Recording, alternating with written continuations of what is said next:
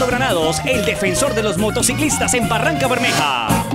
Vote Leonardo Granados, Movimiento Político Mira, número uno en el tarjetón.